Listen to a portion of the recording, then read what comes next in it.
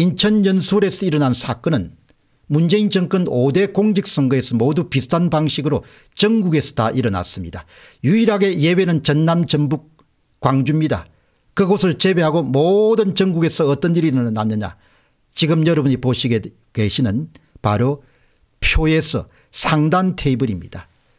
상단 테이블의 노란색을 보시게 되면 발표된 득표율이라는 그런 문장이 있습니다. 발표된 득표율. 이것은 바로 중앙선거관리위원회의 선거 데이터 자료라는 겁니다.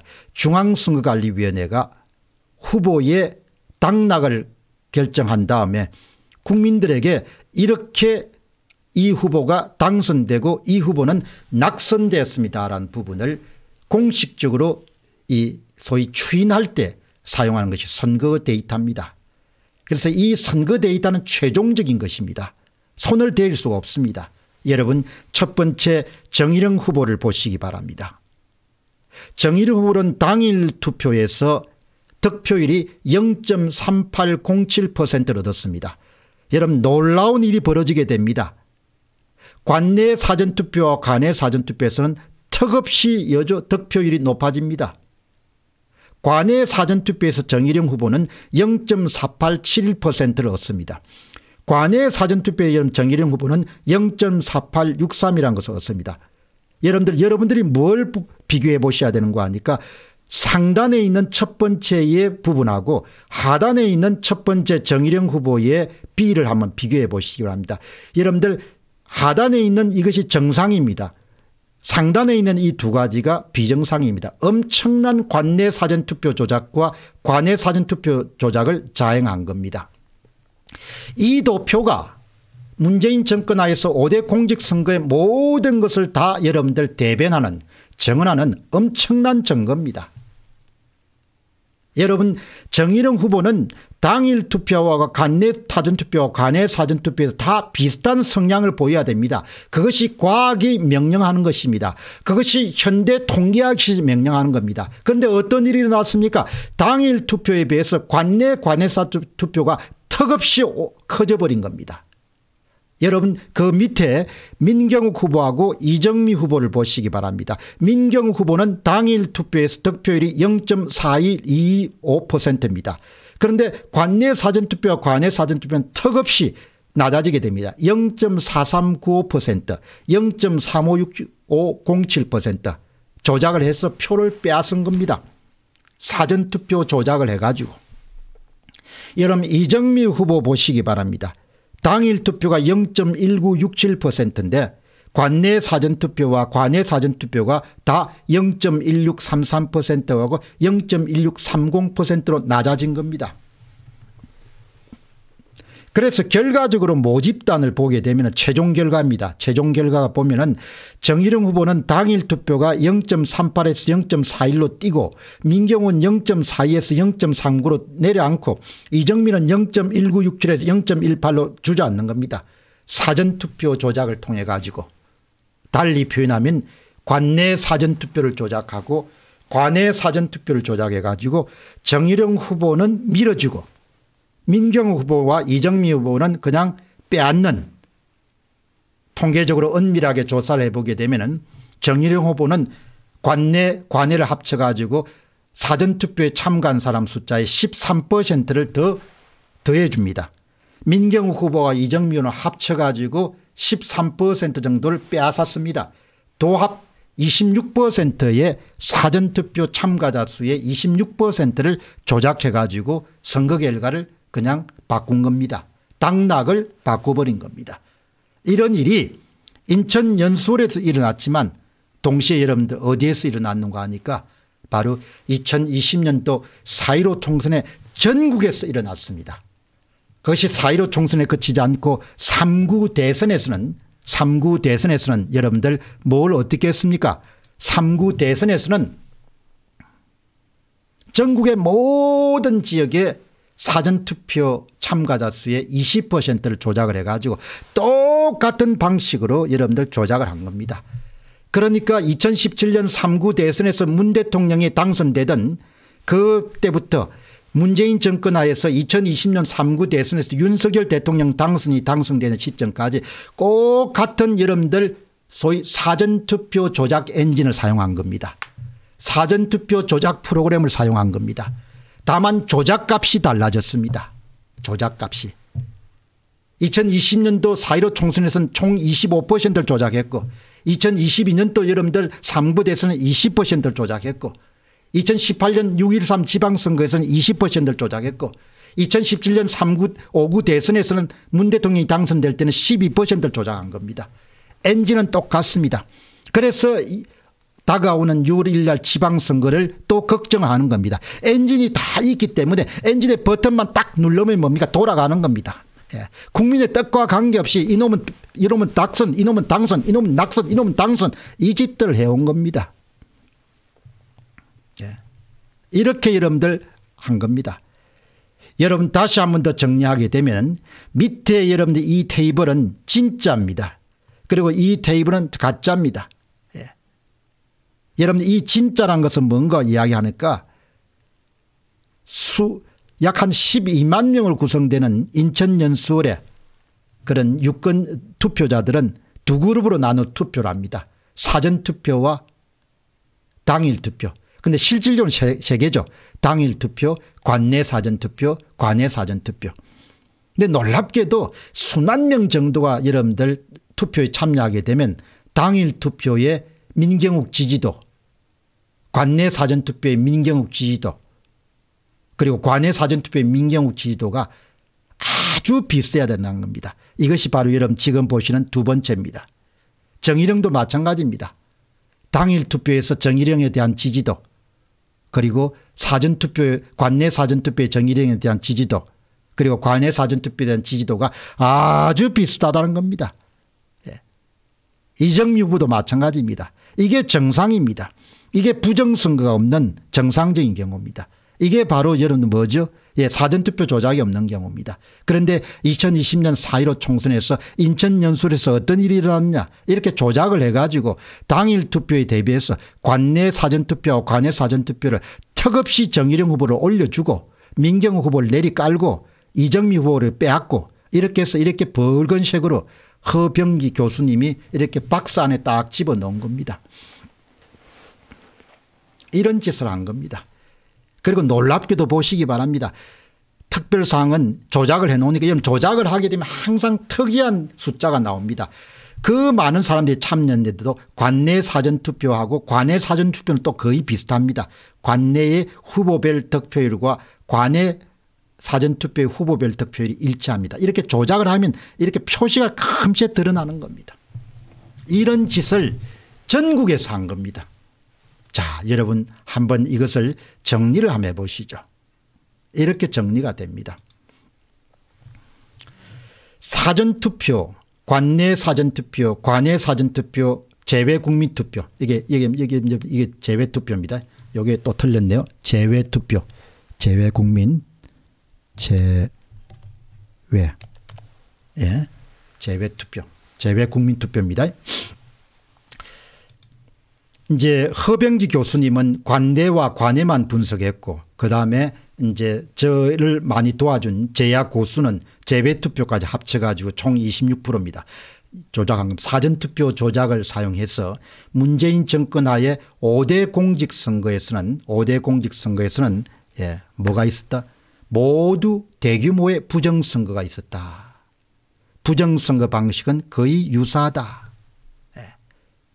부정선거 방식이 거의 유사하다는 것은 바로 사전투표를 조작하는 조작 프로그램이 거의 같다는 겁니다.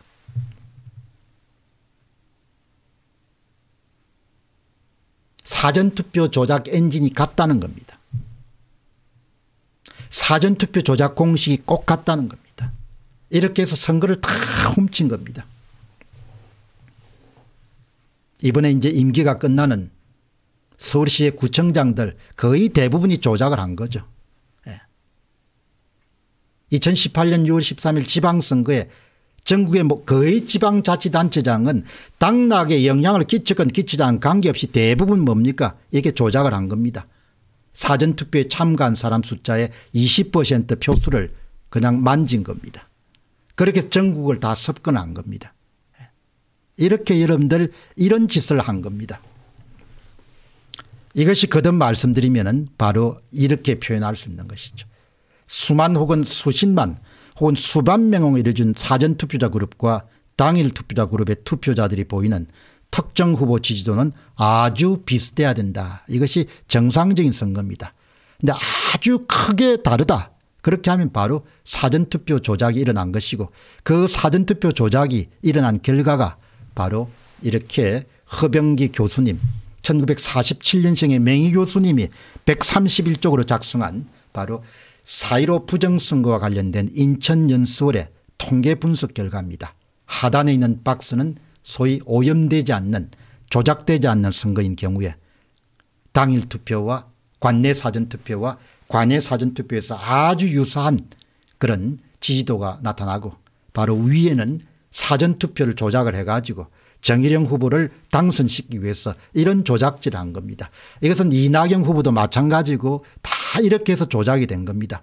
그러니까 현재 더불어민주당의 172석을 구성하고 있는 국회의원들 가운데서는 사전투표 조작을 하지 않더라도 당선될 수 있는 분들이 많이 계셨을 겁니다. 그럼에도 불구하고 대부분 다 당선을 확실시키기 위해서 중앙당 차원에서 다 조작이 이루어졌던 거죠. 그렇기 때문에 다 전면 무효가 될 수밖에 없는 겁니다. 인천 연수원에서 발견된 전산 조작과 실물 위조 투표지 증거들은 증거입니다. 증거들은 제가 급하게 만들면서 문재인 정권 하에서 5대 공직선거에 모두 다 대표 사례에 속한다. 그러니까 5대 공직선거의 모든 데서 일어난 사건을 그냥 하나의 상징하는 대표하는 사건이 인천 연수원 사건입니다. 그래서 여기에서 대법원이 기각을 판단을 내려가 선관위 측 소송을 들어주게 되면은 그러면 이제 대한민국은 그냥 부정선거해도 아무 문제가 없는 나라가 되는 겁니다. 예. 이거는 일어날 수가 없는 겁니다. 이렇게 여러분들 정리를 하시면 좋겠습니다. 여러분들 기가 차죠? 예, 기가 찬 이야기가 일어난 겁니다. 이렇게 조작을 한 겁니다. 예. 이래도 점론이들이 침묵하는 겁니다. 지식인들이 침묵하고 언론인들이 침묵하고 대법관들이 은폐하기 위해서 노력하고 선관위는 오리발 내고 예. 여당은 그냥 침묵하고 야당은 더 국회의원 더 해야 되니까 침묵하고 그러니까 그냥 나라가 망해도 싼 겁니다. 쉽게 이야기하면. 예. 망해도. 뭐 거의 망한 상태죠. 예. 이 정도의 부정선거를 했는데도 불구하고 입을 다 다물고 덮고 넘어가겠다. 윤석열 대통령 당선이 어떻게 할지 한번 지켜봐야겠죠. 그러나 뭐 앞으로 어떻게 할지는 제가 확신이 않습니다. 잘 할 것이다. 그는 확신이 안 써요. 이렇게 여러분들 나라가 엉망진창이 된 겁니다. 그러니까 검수완박법 검찰 수사권 완전 박탈에 대해서 너무나 뭐 이게 충격받을 필요가 없는 겁니다. 부정선거가 저지르고 나면은 그 다음에는 그것을 침묵하게 되면 악법이 통과되는 것은 뭐 그 시간 문제니까 이렇게 지금 상황이 일어난 겁니다. 자, 여러분 그러면은 3구 대선은 어땠냐 이야기죠. 3구 대선은 기가 막힌 일들이 일어난 거죠. 그러니까 윤, 윤석열 대통령 당선인이 4.15 부정선거하고 3구 대선 문제에 대해서 입을 다물면은 완전히 접어야 되는 거죠, 나라를. 저는 뭐 그냥 그때는 예, 정말 뭐그 쉽게 이야기하면 완전히 맛이 간 나라구나 이렇게 볼 수 있는 거죠. 맛이 간 사람들이구나. 예. 얼마를 조작했습니까? 이렇게 조작한 겁니다. 사전투표를 여러분들 관내 사전투표만 전국 평균이 이재명 후보가 9% 조작을 한 겁니다. 윤석열 후보가 8%를 빼앗은 겁니다. 표를. 예. 평균값입니다. 이렇게 조작에 전국의 표가 어떻게 나오는가 하니까 이런 그래프가 나오는 겁니다. 전국의 17개의 도 광역시를 보면은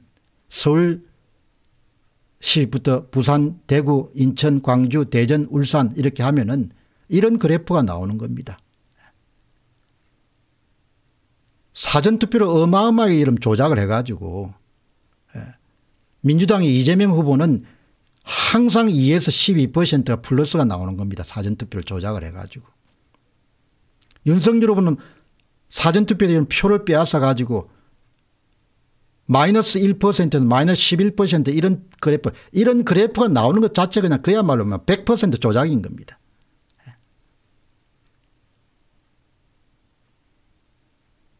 그러니까 여러분 기본적으로 전국적인 차원에서도 표가 어떻게 나와야 됩니까 이렇게 윤석열과 이재명이 다 비슷해야 되는 겁니다. 그래서 거의 당일 투표하고 관내 사전 투표가 거의 0에 가까워야 되는 겁니다. 민경욱이 여러분 정일영의 유, 저 이재명이 들어가고 민경욱에 누가 들어가야 윤석열이 들어가야 되는 거죠. 그래서 이렇게 0.38, 0.38 이렇게 나오면 당일하고 이런 관내 사전 투표 비슷하게 나와야 되는 겁니다. 이재명도 이런 비슷하게 나와야 되는 겁니다. 그런데 이런 지금 어떻게 나왔습니까? 이 짓을 해놓은 겁니다. 이 짓을. 전국의 모든 권력에서 뭡니까? 평균 9%를 이재명이 더 이기게 만들어 놓은 겁니다. 윤석열은 마이너스 8% 나온 겁니다. 기가 찬 일이 나온 거죠. 전국의 모든 영역에서 그 여러분들 광역시에서 한 곳도 여러분 가리지 않고 어떻게 되나 모두 다 사전투표에서 이재명이 다 이기게 만들어 놓은 겁니다.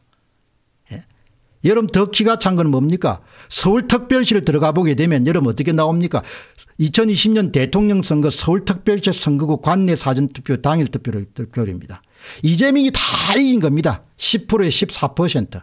윤석열이 다 패배한 겁니다. 마이너스 9% 마이너스 14% 여러분 이 서울특별시 자료를 그냥 종로구 자료로 내려오고 종로구 자료에서 뭐죠 예, 동 단위로 내려오고 동 단위에서 여러분 어떻게 내려옵니까 투표소 단위로 내려오더라도 다 투표소 레벨의 전국의 투표소를 모두 다 조작을 했기 때문에 모든 사전 투표장에서 다 이긴 겁니다.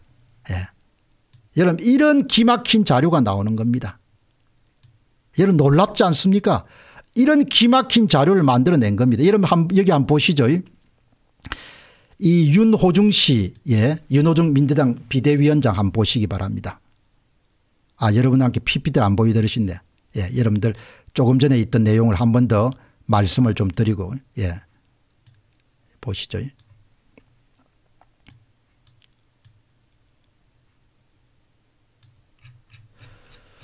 여러분 이게 이제 보시면은 이런 거 아닙니까 이게 후보별로 이게 비슷해야 되잖아요. 여기에 예를 들면 정일영 대신에 윤 이재명 민경욱 대신에 여러분들 저 윤석열 려면은 당일 관내 관내가 다 비슷해야 됩니다. 그래서 당일에 사전에서 당일을 빼게 되면 0에 가까워야 되는 거죠. 0에. 그게 조작이 안 된 경우입니다. 그런데 여러분 지금 어떻게 나왔습니까? 이런 그래프를 만들어 놓은 거 아닙니까? 그죠? 이재명은 항상 플러스 9%고 그 윤석열은 평균값이 항상 마이너스 8%입니다. 그래서 여러분 전국을 보게 되면 이런 그래프를 만들어 놓은 겁니다. 차이가 이재명 후보는 2%에서 12% 사전투표 득표율 관내 사전투표 득표율 빼기 당일 득표 0에 가까운 값이 나와야 되는데 0에 가까운 값이 나오는데 전국의 17개 시 광역시에 모두 다 승리하도록 만들어 놓은 겁니다. 윤석열 후보는 모두 다 여러분들 실패하게 만들어 놓은 겁니다. 기가 찬 이야기죠. 전국뿐만 아니고 여러분들 이게 가시게 되면 서울특별시도 모두 다 윤석열을 패배하고 모두 다 이재명은 다 승리하게 만들어 놓은 겁니다. 그럼 서울특별시만 그러냐 서울특별시의 종로구 구 단위로 내려가거나 동 단위로 내려가거나 아니면은 투표소 단위를 내려가더라 투표소 레벨에서 100%럼 조작을 했기 때문에 무슨 값이 나온다 똑같은 종류의 이런 그래프가 나오는 겁니다. 일어날 수 없는 일이 일어난 거죠. 예. 여러분 그래서 이번에 주역인 박병석 국회의장 한번 보시기 바랍니다. 국회의장 여러분들 2020년 4.15 총선 결과 보게 되면 서구갑의 서구의 이 국회 저 박병석 국회의장이 속하고 있는 서구갑에 동수가 12개고 동에 포함되어 있는 투표소 개수가 71개입니다. 71개 투표소 모두에서 뭐죠? 한 곳도 빼지 않고 다 사전투표에서 박병석 더불어민주당 후보가 승리한 겁니다. 전국의 모든 만 몇 개일 겁니다. 만 몇 개의 여러분들 사전투표를 아 사전투표소 아마 3천 몇 개일 겁니다. 사전투표소 3천 몇 개를 다 조작을 한 겁니다. 다 조작을 해가지고 71개를 다 조작을 해가지고 71대 제로가 나온 겁니다. 예. 이런 일을 한 겁니다.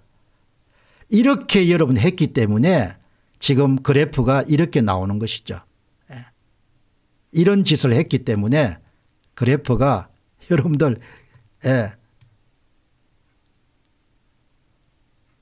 그래프가 기가 차게 나오지 않습니까 예.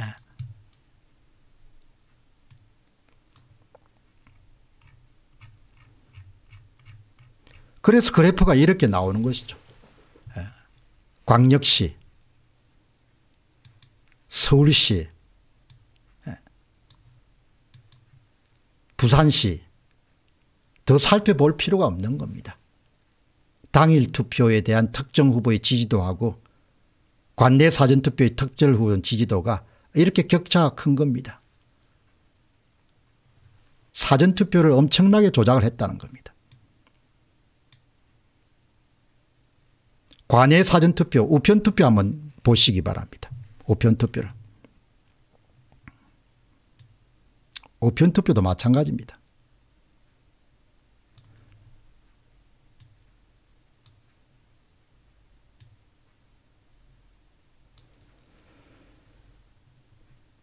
여러분 우편투표도 보시면은 관내 사전투표 우편투표도 이재명 후보는 플러스 17% 그러니까 관내 사전투표를 한 7% 정도 조작을 한 겁니다. 평균적으로 윤석열 후보는 마이너스 7% 7% 빼앗은 겁니다. 그래서 전국에서 이런 그래프가 나옵니다. 여러분이 좀 이상하게 생각할 것은 특이사항이 발생한 것은 전남, 전북, 광주, 제주입니다. 이곳은 막 관내 사전투표 조작에 조금 문제가 있었던 것 같아요. 그 원인은 정확하게 밝힐 수가 없습니다. 딱 그러니까 조작이 비교적 자유로운 이 전남, 전북, 광주, 제주만 제외하고 모든 곳이 전국이 다 관내 사전투표율을 조작한 것은 뚜렷하게 특징이 드러나죠. 그래서 서울특별시도 이렇게 관외 사전투표를 조작을 해가지고 이재명 후보는 혹 관내 사전투표 득표율 빼기 당일 투표 득표율 항상 플러스를 기록할 수 있도록 플러스 7에서 플러스 13%가 나오도록 만들어 놓은 겁니다. 윤석열 후보는 마이너스 6에서 마이너스 14%가 나오도록 만들어 놓은 겁니다. 전국이 똑같습니다. 부산시도 마찬가지입니다. 이재명 후보는 플러스 3% 플러스 12%가 나오고 윤석열 후보는 마이너스 3% 마이너스 12%가 나온 겁니다. 이렇게 엄청난 조작을 한 겁니다. 네. 그러니까 이거를 윤석열 대통령 당선인이 앞으로 못 밝히겠다. 그렇게 하면 뭐 지지를 처리할 수밖에 없는 거죠. 그때는 뭐 윤석열 대통령 당선인은 뭐 100%는 실패한 정부가 될 거라고 봅니다. 그가 실패할 뿐만 아니고 대한민국 자체가 이제 뭐 기회를 한번 고칠 수 있는 기회를 또 놓치게 되니까 그때는 더 이상 기회가 안 주어지겠죠. 이렇게 된 겁니다. 가장 여러분 중요한 것은 바로 이겁니다. 하단에 있는 표입니다. 예. 각 후보에 대한 유권자들의 당일 투표와 관내 사전 투표 관내 사전 투표의 지지율은 비슷한 것이 그것이 바로 부정선거가 없는 정상 투표를 말한다. 그러나 이례적으로 이렇게 당일 투표에 대한 지지도보다도 관내 관내 사전투표의 지지도가 높을 때는 바로 사전투표 조작에 의한 부정선거가 일어난 것이고 이것이 바로 인천 연수원에서 일어난 일이고 이것이 2020년도 4.15 총선의 전국의 거의 전 지역 전남 전북 광주를 제외한 지역에서 일어난 일이고 그것이 2000 문재인 정권 하에 5대 공직선거에서 모두 다 이 같은 부정선거를 저질렀고 세 번은 성공했고 두 번은 실패했다 이렇게 보시면 되겠습니다. 이런 일들을 여러분들 저지른 겁니다. 사실과 진실을 예, 이야기를 해야 되죠.